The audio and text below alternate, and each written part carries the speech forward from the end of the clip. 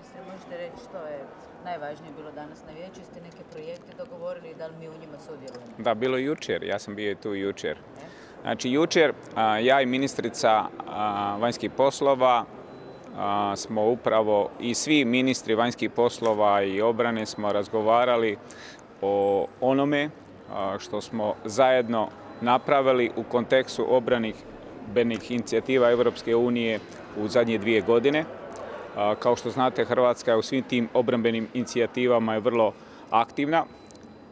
Naravno, razgovarali smo o PESCO projektima, a u, odnosu na PESCO projekte najbitnija vojna pokretljivost i Europski obrambeni fond. A što se tiče Hrvatske, Hrvatska radi na implementaciji pet PESCO projekata, a jučer smo i usvojili novi paket od 17 PESCO projekata u kontekstu Hrvatske. Hrvatska je zajedno sa Austrijom, Slovačkom i Mađarskom pokrenila jedan projekat. Cilj tog projekta je upravo obrana od nuklearnog, kemijskog, bioloških prijetnji. Mislim da je to ključno i za Europsku uniju i za Hrvatsku i to je prilika i za hrvatsku obrambenu industriju. Danas smo razgovarali o upravljačkom odboru Europske obrambene agencije, zatim smo imali sjednicu vijeća za vanjske poslove gdje smo razgovarali o trenutnoj suradnji NATO-a i Europske unije. Na toj sjednici je bio i glavni tajnik NATO-a. Pa cilj je tih svih rasprava bolja, intenzivnija suradnja NATO-Europske unije. Vidimo da se države suočavaju sa izazovima, sa prijetnjama i zato je strateški važno da NATO i Europska unija surađuju. Hrvatska je posebno zainteresirana za suradnju u području odgovora na hibridne prijetnje koje se događaju u prostoru jugoistoka Europe i nakon toga smo razgovarali o operacijama u okviru Europske unije i evo Pred kraj sastanka sam potpisao u ime Hrvatske notu kojom Hrvatska se pridružuje Višegradskoj skupini, borbene, znači borbenoj skupini Europske unije koja će djelovati u drugoj polovici 2019. godine, znači zajedno sa Poljacima, Česima, Slovacima, Mađarima. Mislim da je to jako važno, jako je važno za Hrvatsku vojsku, za suradnju. Tu će biti naši stožarni časnici, cilj je unapređenja znanja, interoperabilnosti, jačanja i povezivanja vojsci i ono što je ključ 2020. mi smo opet u borbenoj skupini pod vodstvom Njemačke, s tim da tada sudjelujemo sa jednom cijelom satnjom toj višegradskoj borbenoj skupini, znači s koliko ljudstva i koliko rekli ste stožerni? To su stožerni časnici, do desetak stožernih časnika će sudjelovati, kažem, s ciljem jačanja interoperabilnosti, povezivanja, zajedničke aktivnosti, zajedničke vježbe, sve ono što je dobro za Hrvatsku, suradnja i jako sam sretan da idem u tom smjeru. Može. Jedno pitanje možda ako imate još o sastanku, ali nevezano sastanka. Približava se kraj godine. Mnogi se pitaju kad će biti potpisani ugovori za borbene avione. Pa čekali smo, čekali smo 15 godina, vi znate, to, to nisu e, lake odluke, velike odluke. Konačno ono što je ključ, Hrvatska je donijela odluku da uzme više namjenski borbeni avion od države Izrael uz potporu i razumijevanje Sjedne američke država. Što se tiče nas, mi smo finalizirali ugovor, na tome smo radili preko 5-6 mjeseci i ono što je sada se čeka, a to je odobrenje vlade Sjedne američke država, vladi države Izrael za isporuku aviona i to je isključiva obaveza države Izrael.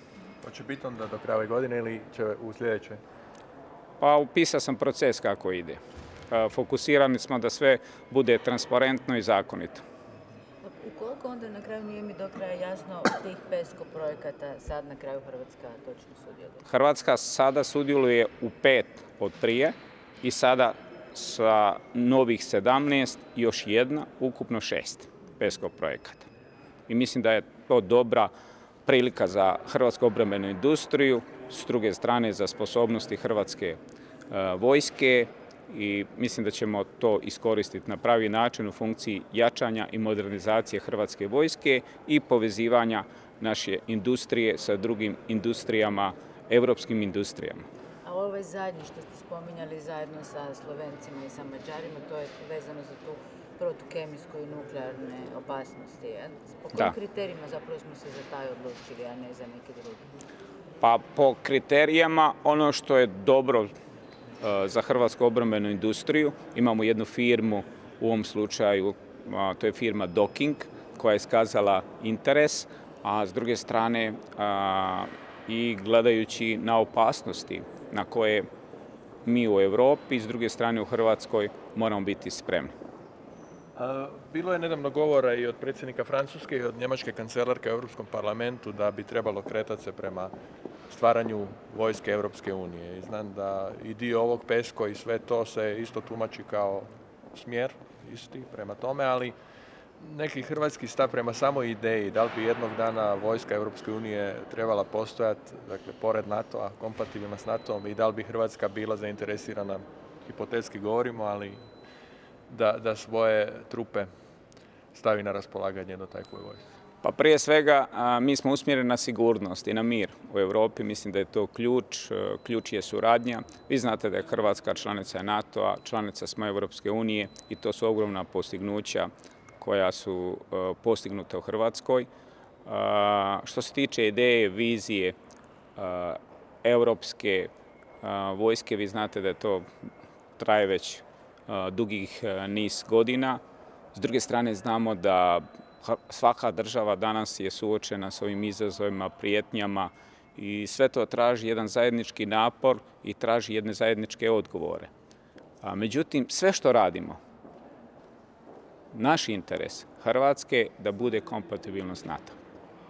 Mislim da je vrlo bitno osnažiti transatlantske veze, jasno Sjedne američke države. Vi znate da su nama Sjedne američke države ključan partner i saveznik u području obrane. Prema tome, o tome moramo voditi računa. Europska unija, NATO ima posebnosti, ali cilj je suradnja. I zato na svakom našem sastanku mislim da ta suradnja se podiže na veću razinu. Pa evo danas je i povjerenica, s druge strane glavni tajnik, zajedno smo svi upravo govorili o toj suradnji, o komplementarnosti i odgovornosti za sigurnost e, u Europi, a mislim da je upravo ključ suradnja NATO-Europske unije.